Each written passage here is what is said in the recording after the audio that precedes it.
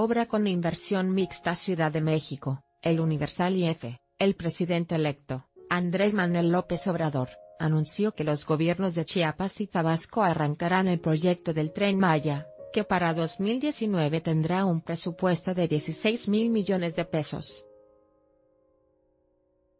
En una reunión privada en un hotel exclusivo de Palenque, los gobernadores actuales y electos de Chiapas, Tabasco, Campeche, Quintana Roo y Yucatán dieron su respaldo a la construcción de 150.000 kilómetros de tren Maya turístico, que será de pasajeros y de carga.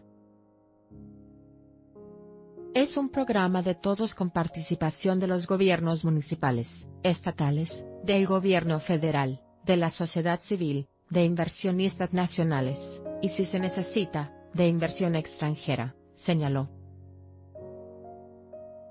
Esto debe de asumirse como un programa de la Nación para el Desarrollo de México, añadió el presidente electo en la reunión que tuvo como objetivo trabajar en los aspectos técnicos de la obra tomando en cuenta la inversión, el impacto ambiental y el beneficio para el sureste mexicano.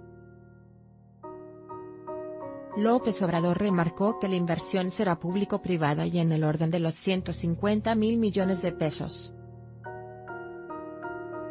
En lo que se refiere a las licitaciones, los trabajos y los tiempos, el tabasqueño dijo que trabajará durante los dos próximos meses y medio para que las licitaciones estén listas el 1 de diciembre. López Obrador enfatizó en que el ferrocarril será una obra que deberá concluirse a tiempo y bajo los mejores estándares, eliminando vicios de operación como retrasos o situaciones no previstas por lo que supervisará de manera personal el avance de los trabajos.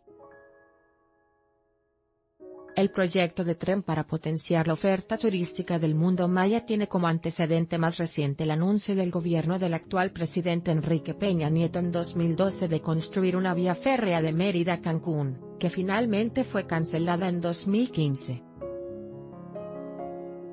Como punto de partida estará la ciudad maya de Palenque, Chiapas, y Cancún, en Quintana Roo con dos rutas que abarcan 1.500 kilómetros a través de las costas este y oeste de la península de Yucatán.